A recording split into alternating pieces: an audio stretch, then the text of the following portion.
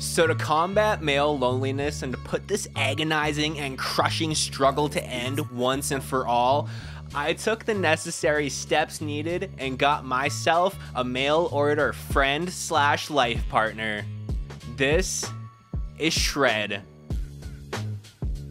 With Shred by my side, I will no longer get ghosted, get stood up multiple times, be left on red, or get attempted to be roped into shameless pyramid schemes, since honestly, he's the only friend I'll ever need.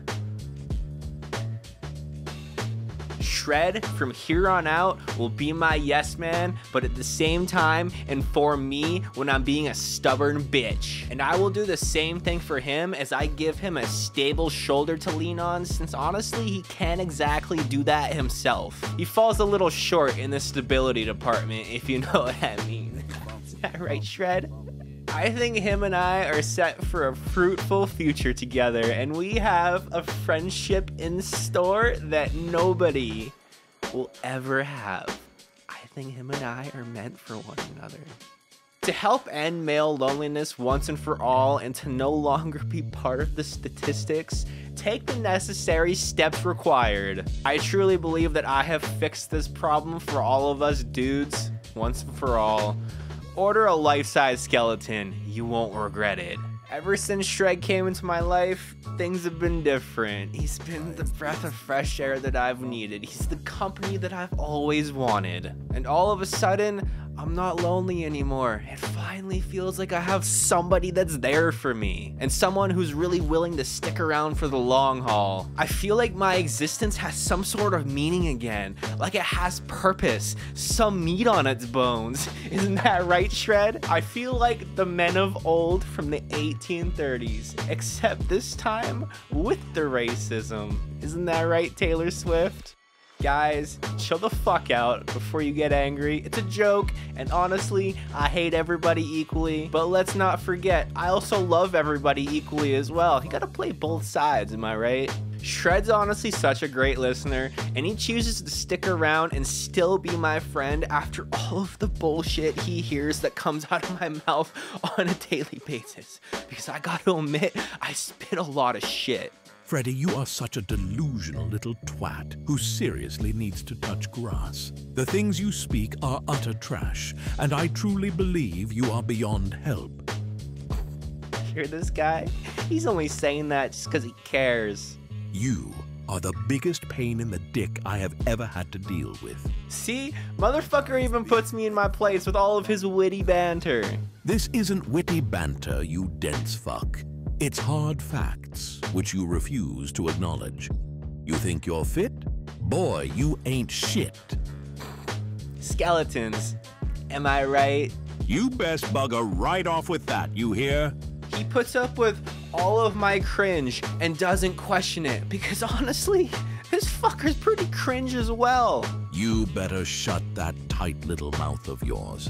He makes a really great roommate to live with and split the cost of living with because these days it's so fucking expensive to live.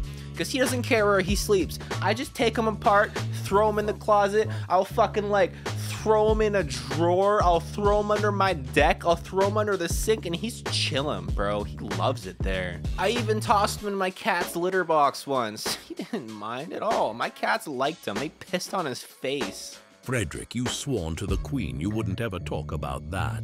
And honestly, with the cost of living these days, thanks to Fidel Castro's degenerate bastard son, Justin, it really pays to have a roommate sleep in the drawer.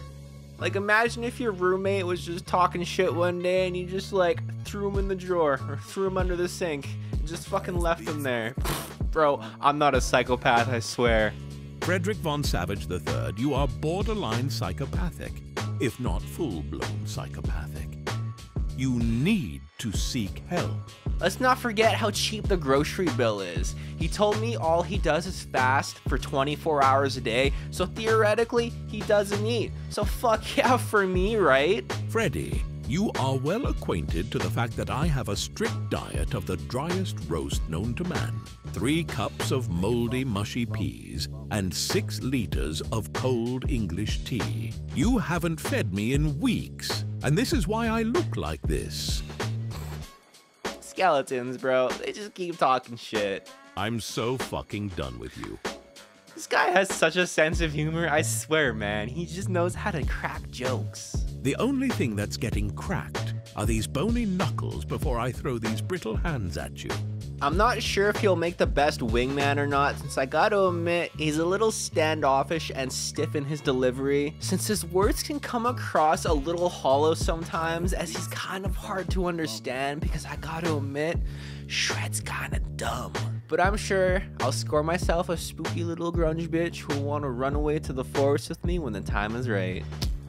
I was pretty hesitant about getting myself a mail order friend because it seems a little incelish, sub 5, black pillish kind of thing for me to do. But now that I have taken the leap and experienced what it's like to have this companion in my life, I really wish I did this sooner.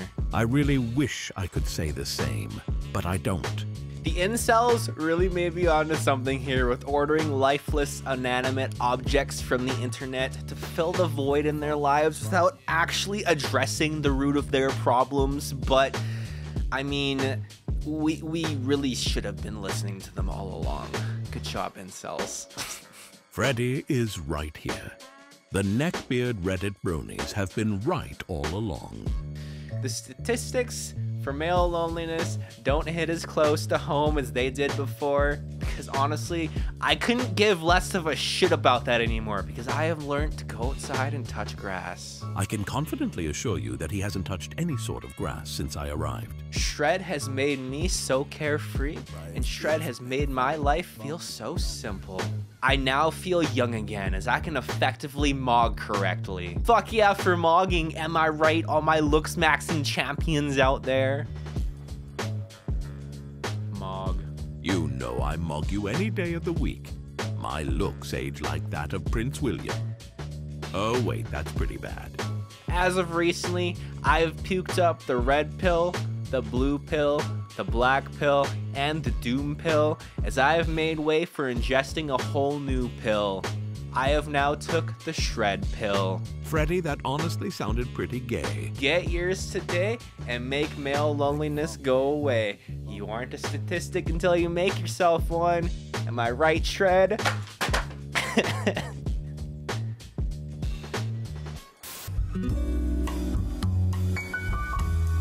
Excuse me, kind sirs and sirettes.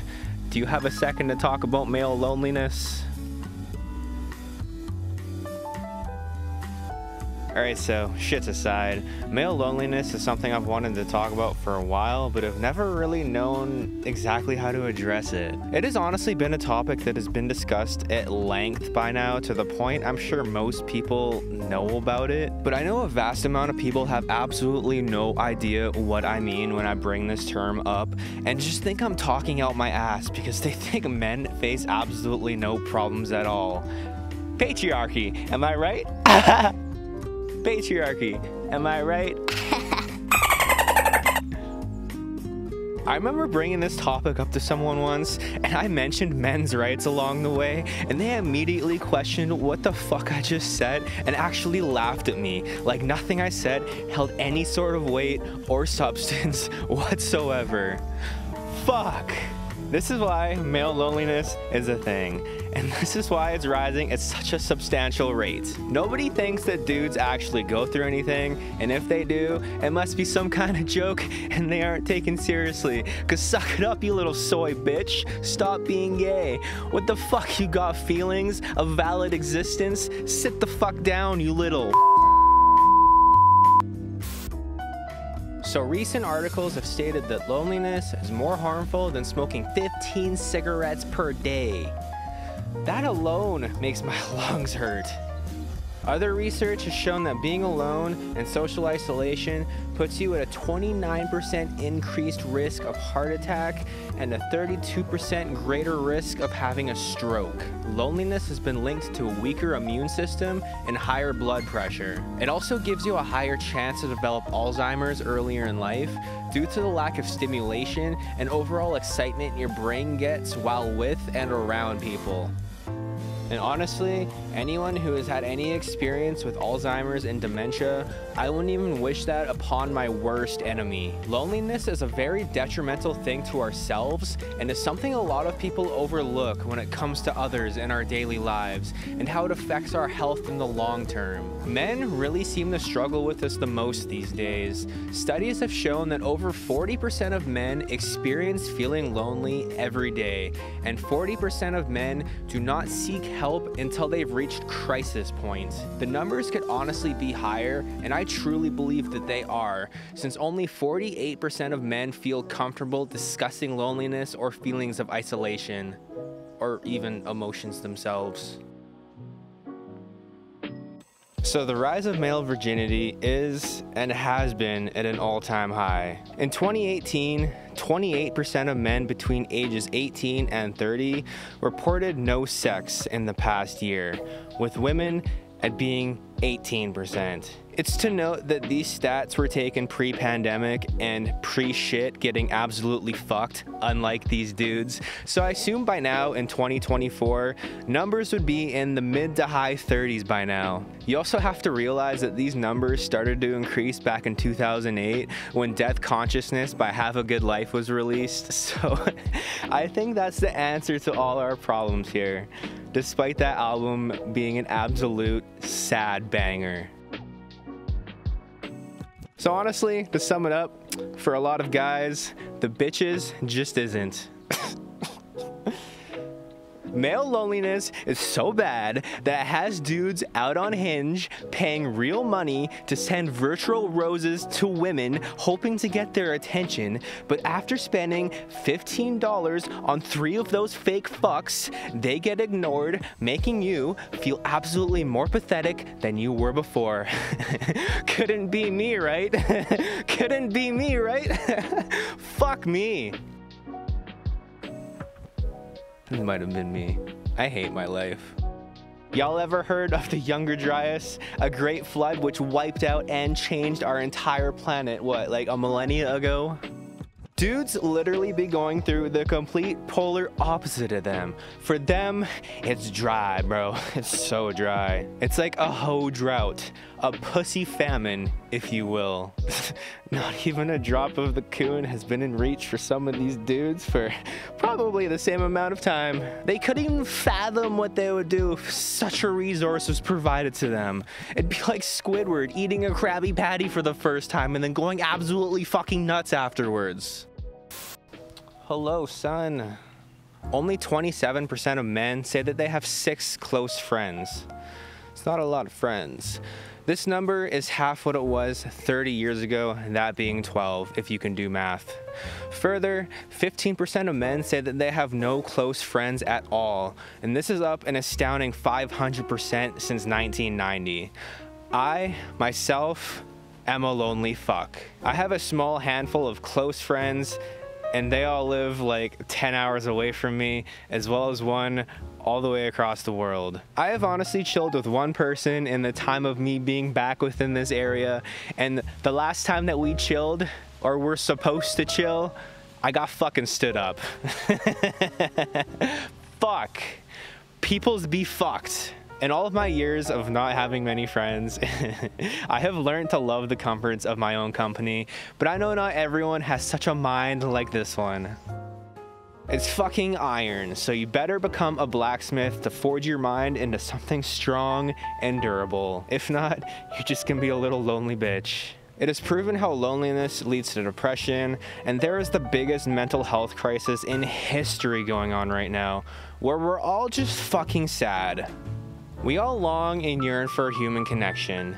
We are social creatures by default, and it's strange that in the age of social media, where these apps are supposed to make us feel so much more connected to one another, everyone has become so distant, closed off, and unable to engage in social interaction within the real world. It honestly feels like it's had quite the opposite effect of what you would think it would do to us. I saw this graph showing that since the iPhone came out, or smartphone I guess, the loneliness has ramped up. Or, as what I was saying earlier, when Death Consciousness was released. And that really goes to show that these devices that are supposed to help us connect is causing us to disconnect. I've talked about this a couple times on the channel now about how social media is causing people to go outside less and less because, well, it's true. Trust me, bro, university has all the credible stats. And it really just goes to show that we're all as antisocial as we've ever been, due to us all socializing online as opposed to the real world. Or we're just not socializing at all since we're all so hyper stimulated due to all the instant gratification at our fingertips.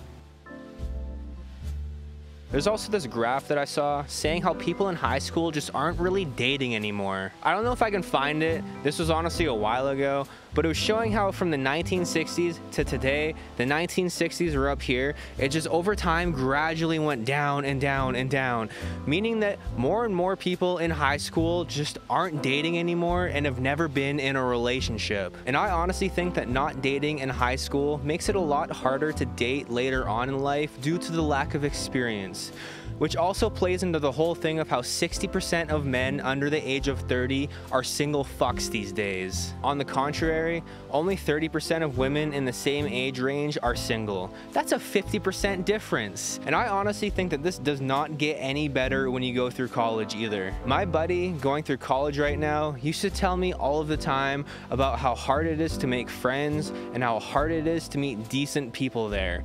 Everyone is just so closed off and too focused on school and themselves. Him and I actually went to college together before I dropped out in the first month due to me being an illiterate dumb fuck, but that's besides the point.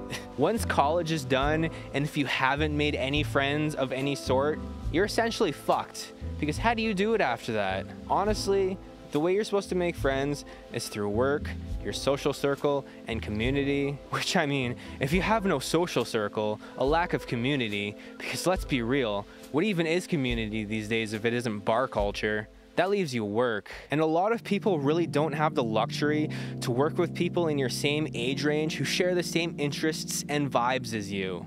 If you do, fuck yeah for you. Working long hours to survive in this economy doesn't make that any easier since these days, to live comfortably, you either have to work two jobs, long hours, or luck the fuck out on a good job, which is rare. Not to mention, when we get home, most of us don't even have the energy to engage in a social life, so we have to drown ourselves within quick entertainment and instant gratification instead of trying to go out and do something with ourselves it turns into such a hard cycle to break out of. Some say it's a societal thing, causing men to be like this, lonely and isolated, like how we shouldn't be opening up since it's almost like a feminine thing to do, blaming it on masculine norms and toxic masculinity, stating how we shouldn't do that, but I disagree. Men have literally been encouraged for years now to express themselves and open up about their feelings, something that we have been doing. More and more men these days are opening up than ever before, as opposed to 50 years ago,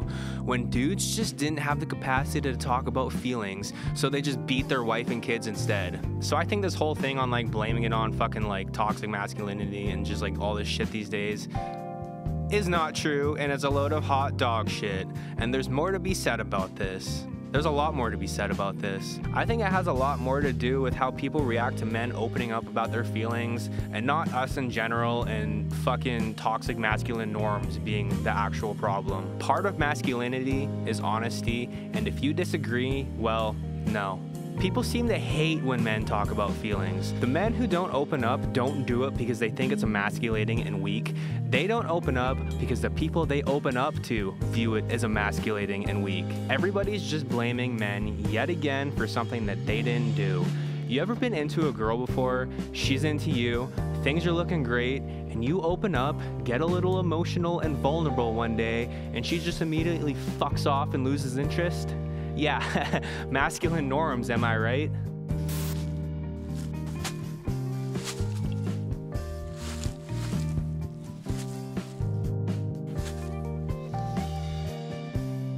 Yeah, what's good? I'm back. There's such a damaging narrative going around within the red pill space that therapy is gay, but dude, no. Instead of opening up to someone who's gonna ghost you and talk shit behind your back, you're opening up to somebody who's being paid to professionally listen to your problems via a therapist, and they're there to help you understand why you are the way you are and unravel the mess that you have tangled up inside. Honestly, bro, anybody who thinks therapy is gay clearly has never tried it.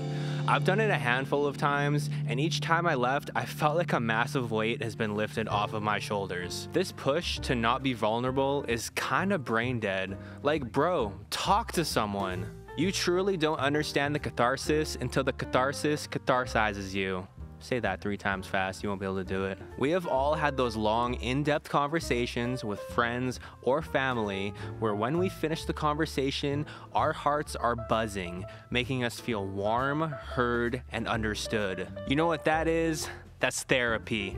Fucking try it, pussy. What? You scared of feelings? Those feelings are what shape us into better humans. Those feelings are what truly make the human experience when you let them outside of the bottle instead of bottling them up all the time. Fucking pussy. There's honestly so much damage which comes by keeping these emotions bottled up and suppressed. If you never let those motherfuckers out in some way or another, you will never live something substantial and meaningful, and you will never evolve as a person. So stop being a pussy and stop fucking suppressing yourself. You ever play a musical instrument and while you dwell on the things burdening you, and as you play the music, it is being influenced and inspired by your thoughts as they're being released and transmuted into new and moving material? That's therapy. Then after that, you feel a cathartic feeling like a weight has been lifted off your shoulders. Boom, that's therapy. You ever go and make any sort of art, whatever your medium may be, with the same process in which I just explained? Boom, therapy. Stop being a bottled up bitch and become therapized today. Uh, This whole topic, dude, I can go on for hours. I don't care if it's something that we've all heard time and time again. It is something that needs to be said again and again until these stats start to go down. Nobody deserves to be lonely. We're all incredibly unique individuals with so much beauty to offer this world. And honestly, that's why I believe that we're here. It's to love, create, provide value, but we're all being suppressed by this whole fucking loneliness thing. Like, honestly, a lot of us are truly robbed of the human experience. People need to start practicing being compassionate a lot more to our brothers in need. Same with our sisters, too, because honestly, I know the lovely ladies be hurting too. So, Let's just go link up with one another and let's be lonely together. Two lonely souls sharing one life is better than a bunch of individual lonely souls living their own lives of isolation. So why don't we drop all of this technology, go outside, touch some grass, and before we know it, our world will collide with someone else's since they are also touching grass. Touching grass is severely underrated. Let's not be a statistic any longer.